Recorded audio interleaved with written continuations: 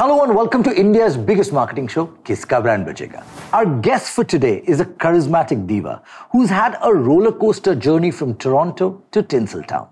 She's one of the best performers Bollywood has ever witnessed, with grace that's unparalleled and energy that's infectious.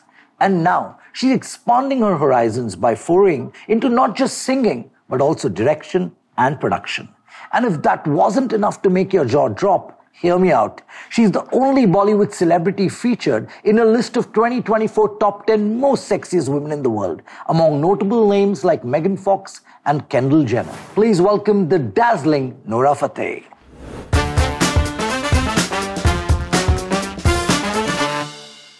Welcome to Kiska Brand Bajega. How are you doing? Please, please have a seat. Nora, you were born and raised in Canada. Then you've decided to move to India from being a part of Bigg Boss to a very well known name in Bollywood. You've had quite a phenomenal rise. What do you have to say about your journey so far? Um, you know, a lot of people ask me that question, and I feel like you can't ever want to do anything differently because it, it's already set up for you the way it is. So it was destined for my journey to go the way it was going because as someone who came into this industry as an outsider and no connection to even Yeah. India, let alone industry. I mean, it had to be that way. I had to do a few films in the beginning that didn't work and then hustle even more and then start doing South songs and then start doing whatever came my way. And then when the reality shows came, which was like Bigg Boss and, and Jhalak, when they came, I had to do them because that was the only way for me to be recognized. Yep. But it had to it had to work out for me like that. And I'm so happy that that was my journey because some people don't even have a journey. So I feel blessed. How difficult was it, Nora, when you came in? Because you had to speak a language which you probably didn't understand, right? And not just working in Hindi films, you worked in films across India. And now that you, speak great Hindi, right? How was the journey of you trying to master the language? when I decided to come to India, Yeah. I felt like a little bit naive Okay. and overexcited. Yeah, I'm coming. I'm gonna, you know, take over and become this star, and it's gonna be amazing. And you know, coming with an international agency, so I'm gonna get pampered and go to all these auditions in limousines and stuff. um, I, it was quite a crazy reality check. But when I was going through that initial stages of trying to figure out what what is the scene here, what's going on, and then analyzing the industry, from all the people I spoke to, even down to the drivers that were working in the agency, all of their advice was listen, if you're really going to take this seriously and invest your time here, you have to learn the language. So I, I took that and I ran with it. And I'm like, that's number one. What I did that helped was not have a social life Okay. for a good year or two. Really? You were so focused on So just learning focused, Yeah, I mean, I was in a house of full of models because it was an international Mm-hmm. Yes. agency, and you know they were going out and socializing and you know living their best life, and I was just locked up in that room with my Hindi teacher. And when he's not there, I would it would just be me in the television watching all these serials and all these reality shows and TV and songs and films and just really trying to you know, make up for all the other years that the other actresses had to to master the language that I didn't. So it was me running against time. Your journey from being a participant on Jhalak Dikhhla Jaa to becoming a judge on the same show just a few years later is truly remarkable and speaks volumes about the phenomenal rise. Nora, has television played a big role in making you a household name? Look, television's not easy. You know, most of the people who do well on television, whether they're judging, hosting, or whatever it is, it's because they have a charisma and they have sort of a, an aura and a presence. Not all actors have that. My journey was so special because people could see that you can start from here and then come here. Yeah. It's not impossible. And mine is even more special because I'm not even from here. So people are like, they feel motivated and inspired. Uh, for me, when I sat on that chair as a judge and watched those contestants and, you know, gave the comments that I gave, I totally could relate to them Sure. because I was there, you know, just five years ago. If you asked me five years ago, do you see yourself judging in five years? I, I would probably say no, you know, but I've put a lot of hard work and effort, and God has been so great, and the people around me have really, really put a lot of effort in opening doors for me, and I've prepared myself for certain opportunities.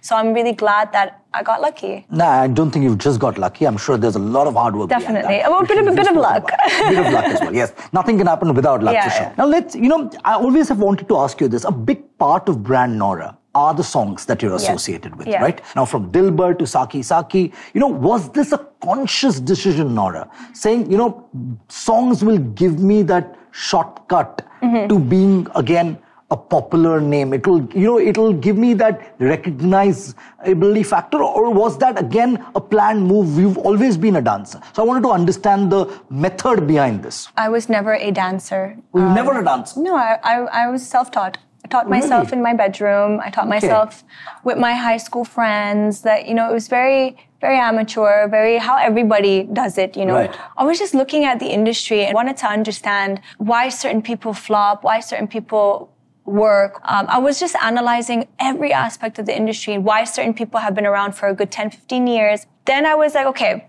I gotta see a void in the industry. What is the void? And I need to fill it because I wasn't able to get opportunities through the auditions I was doing. Okay. I did films as an actor, but it wasn't the mainstream commercial level that I wanted and I felt I deserved. And I was okay, what is the void here?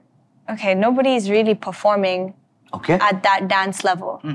Um, any of the songs that are happening in films, all the actresses that were doing it, except for Katrina at the time, nobody was really performing, performing. Um, Okay. Because they lacked danceability. So I was okay, maybe I could f- use this as an opportunity to come in from the back door.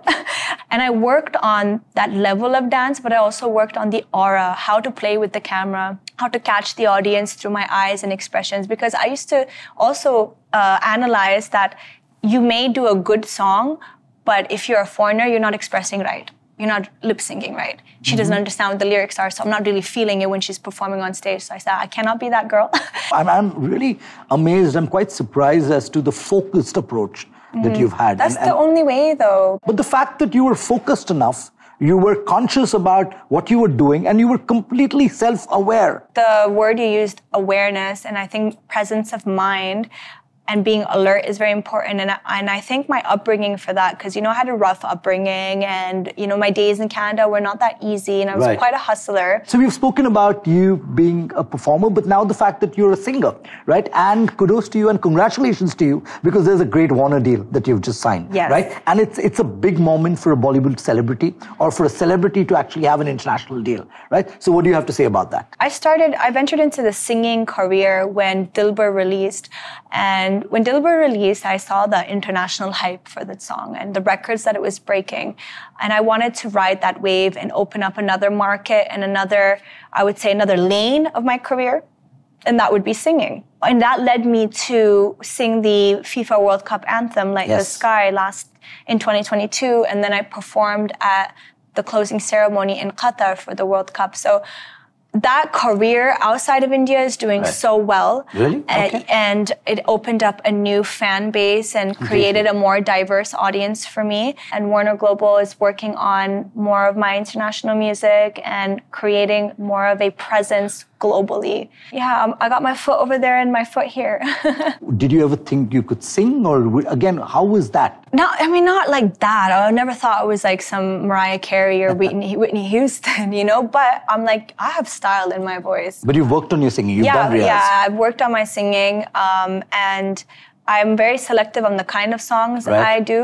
They have to be urban, stylized. Um, Set trends. yeah, it's got to be very trendy and more cool, swagged up. And um, I want to merge my dance ability and my music together in a global scale. We, we spoke about the FIFA anthem, right? That you were a part of, which also where you we saw you collaborating with international artists. Yes. Right? Again, was that a conscious decision to actually grow your presence as brand Nora for other markets? Yeah, for sure. I mean, anyone in the world, if they got the opportunity to sing for FIFA World Cup, they would do it. You know, so I'm- I, I I'm didn't sure. even think about it. I was like, yes. And the way I was presented at the closing ceremony, my entrance into the field. Oh, we saw it. It was amazing. Absolutely yeah, I mean, I feel so blessed for that, and such a big deal. I think hard work pays off. Yeah. I, am saying you've manifested this, you and not just manifested this, and not just you've been lucky, but you've actually worked hard for this. Now let's come to brand endorsements, right? Mm-hmm. You've been a part of brands like Dabur, Cake Zone, Cultfit. What are the criterias in your mind Mm-hmm. before you say yes to selecting or signing on the dotted line for a brand? It's got to resonate with me. I got to Okay. understand it. The aesthetics need to align with me. And it's got to be believable. Obviously, money too, but you know, it's got to be believable. Uh, Dabur is such a big brand and it's a household name, Right, right. and the masses use it a lot. Right. So I want to connect with the masses. Cake Zone, it's a great partnership. Cults because it's fitness, Yeah. and we have a very good partnership. In today's landscape, celebrities are getting involved in equity deals as well. Would you be interested in having a stake in a company? And if so, which sectors would interest you the most? See, now I'm in a different I'm space sure in a my lot, of, life. Uh-huh. lot of CEOs, CMOs watching this show, right? So, what's out there? Can we manifest some brand equity partnerships here? There was a time where I really wanted to be like a face of a beauty brand. Okay. Because I feel like I have great skin, or a face of a hair care brand because I have great hair. But it, it hasn't come to me. So now I feel like I'm in this headspace where I'm like, okay, I want to make my own beauty brand. Mm-hmm. Um, instead of attaching myself with another brand because when you do you're on a contract and you know that's for a couple of years and I'm like maybe maybe it's been a sign that it hasn't come yet because I should be doing my own so I might work on doing that creating my own makeup line or my beauty brand but if there's a big opportunity that comes my way and it's an A-list big international brand why not I get the feeling that the fact that you've charted your own territories, I'm sure the next season we have you, you will be an entrepreneur and have an own beauty line. as Mm-hmm. Never well. know, I Never know, never know. So you've been a producer, right? You've directed uh, Yeah. uh, your videos as well. I, and- kudos to you again. What I saw in the song was you gave credit to all the dancers, right? Always. which which doesn't really normally happen, Always, right? And thus you pushed the envelope. You've done something new, right? Any any plans to direct long format? Any any plans to actually venture out into OTT? So what are your forthcoming plans, Nora, apart from films and international uh, label? I have a lot of things I need to do, and I have my goal list, and I haven't even done half of it yet. Oh, lovely. Um, but I got to work on that. I have to create a very big impact in the global scene, which I'm going to work towards in the next five years. Uske baad, I think hopefully when I when I've done everything, had my babies also, then maybe I can think about doing that. I would be excited to do that You'd though. be excited I would definitely be excited to do that. And I, and I think there's a chance I could in the future. Inshallah. With over 47 million followers on Instagram, how involved are you, Nora, with your own social media? Do you do competition benchmarking and also follow industry trends? So in the initial stages, I was doing research and following up and learning about everything. But to now, I don't look at anything that anyone's doing. You don't? No, um, my social media is very filtered. My algorithm is very filtered. I don't know what's happening at all uh, because I need to focus. I need to focus on me. I need to focus on the projects I'm doing because now I'm on a different stage in life. Right. But what I do uh, with social media is I use it as my place for presentation where I can show my fans what I'm doing, show them my personality, my work, um, and and just grow it as a platform for brands to be interested to work with me um, and other film people to work with me. It's really I would just take social media as a place of work for me. It's not Okay. somewhere where I'm chilling, looking at other people. I, I gotta keep my aura clean and protected and my mental space protected. Otherwise, how am I gonna take over the world? Now let's move on to our next segment, Everything Digital.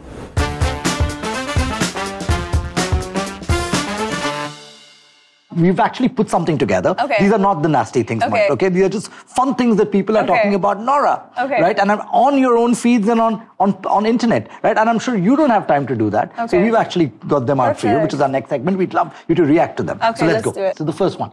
जिंदगी नाचा तो ऐसे लगी है जैसे Mahi. No, I've seen this. You've seen this, way. right? How do you react to the memes that? I, lo- I love memes. You love memes? Yeah, I've got such a Gen Z mentality, you know, and they also help popularize you more. Yeah, of so course, I'm good. Of Let course. them keep them coming. Keep them coming. Okay. The next one. Hey, wo bia, paas dil hum. How do you manage the male gaze? How the the, the so know. much of love from your it's fans. It's cute. It's cute. I mean, there's a typo there, but it's still cute. AI is everywhere these days. So my team has whipped up some special movie posters using AI just for you. On a scale of 1 to 10, how likely are you to consider this and what aspects would you research for the particular role that you'd see? Would you like to play someone like an older film actor who actually defined pop culture at that point of time? I would. You'd love I to? would, yeah, because I would want to know what went behind all that. There's another actor here, Parveen Babi. She's had a roller coaster of a life. Yes. Uh, would, you, would you want to actually get into her mind and play a character Not like just her mind. I would want to understand what actually happened around her. the truth. You'll be intrigued by yeah, that. of course. Lovely. Next one. Helen. Oh yeah, I've sa- I've said this a thousand times already in interviews. Uh, if there's a biopic or something, I would love, love, love to portray her. Uh, purpose, Nora, is a very big thing today, Mm-hmm. right? Today, brands are owning purpose, right? What we've done, right, as a part of Kiska Brand Bajega, have got some initiatives which we'd like you to consider for purpose-driven initiatives which are an extension of Brand Nora. And we've got some recommendations for you. Mm-hmm. Okay. Mm-hmm. And we'd love you to react to them, right? So let's have a look at the first one. So we've got an association for retired background dancers because you've come from a performer community. Yes, yes, right? yes. Not too much is being done for them. So we've put together something called Encore. So what do you think? Would you like to do something like this, Nora? Yeah, definitely. Bollywood is Bollywood because of dance. You know what I mean? Yes, It- yes. Without dance, it would just be like another film industry. Right. Um, and these dancers put their heart and soul, and I watch them all the time. You know, like, look, I traveled the world. I work with so many people around the world, different dance communities, and the dance community in India, they're different. You know, like they give their all. So why not actually put together or an initiative that is taken to look after the well-being of someone who've put their hard work and soul into their craft, right? And that was the thought behind something like this. I love this. it. Next one. The insight, Nora, was that there are a lot of orphan girls who've never really seen their world Mm-hmm. beyond their orphanage. I agree. and you love to travel. So we Mm-hmm. And I love young girls, You, yeah. We've thought of an initiative Mm-hmm. where you could actually be taking them for their first vacation of their life. Mm. this is a beautiful idea. We've put together Open Wings? Open wings. It's called her first holiday adventure. it. And the last one, a platform to encourage young girls to take a stand against cyberbullying, Mm-hmm, right? Because there's so much of negativity. This is a great idea. Also, This is called Cyber Safe Sisters. I wonder how you would uh, tie this up with the cyber police. you know what? A lot of cases, Nora, don't go reported. So I'm saying so with, with someone who can speak, right? Mm-hmm. And, and right from counseling to having a toll free number, Mm-hmm. not just talk about the initiative, but actually walking the talk is something that we feel that you could do. Mm-hmm. I think it's well, a really good idea. Being an independent and fearless woman out there. right? So these were some of the uh, uh, NGOs or purpose driven ideas that we thought Definitely that Brand Nora purpose. can consider. yeah, purpose driven. And I can see why you selected what you selected. I mean, with with the Cyber Safe Sisters uh, initiative, is because obviously, like I, I've put myself out there on social media, and I use social media as a platform to help me in my career. I don't care a damn about what other And I- I really say. don't care. Yeah, you don't care a damn, and that's the way it should I know be. some people say they don't care. I genuinely You- don't and care. that's the way it should. No, that's the way it should be because it will. It will. St- you know, if you want to think about other people whom you don't have a control over, you're not going to do what you do. Mm-hmm. Yeah. We come to the last part of our game. It's a simple game. So all you need to do is guess the price. There's some fun items that we have for you. Okay, and you have to guess the price in Indian rupees of those items, right? So let's have a look. What is this? A pocket? One stash pants, yes. It's a bigger pocket for a pant, right? What do you think? How much would this cost? Okay, about five thousand rupees. 5,000 rupees. So let's see how close are you to this. 1,100. That's okay. Bas, utna. Lipstick assistant. Have you used one? No, this is hilarious. uh, I say about 700 rupees, 700 rupees, yeah. My, 200 rupees. Damn. much closer. Shoe umbrella. These are, these are not made up products. 500 rupees. 500 rupees. Why is this so expensive? And Let's the, find that out. the jeans are so cheap. You've been a jack of all trades. My last question. Nora, Okay. right? What are the plans for future? Where does Brand Nora go from here? Ooh, well, brand Nora has to. So, 2022, we did a global stage, right? Yes. The FIFA World Cup. In the next couple of years, I have to do another one like that. Okay. Um, I'm aiming for that huge, huge platform. Um, I need to really make a mark in my acting in Hindi cinema. I'm very, I'm really working hard at that. And on that note, Nora, I've you know I met you for the first time, but but I am I am inspired. Oh, thank you. I'm inspired by your journey. I wouldn't be able to do it without the support of the audience. In the end of the day, you know, jo bhi hai, whatever we discuss, if they didn't support and love me and uplift me, I don't think I'd be the brand Nora Fatehi today. So I always want to thank them for that. And on behalf of everyone watching Kiska Brand Bajega, the audience, I'd like to thank you and wish you all the very best for all your endeavors. Thank you for calling me. Thank you, and our pleasure. Thanks a lot. Ladies and gentlemen, Nora Fatehi. Thank, you. Thank you. That brings us to the end of today's episode of India's favorite marketing show, Kiska Brand Bajega. Until next time, see you and take care.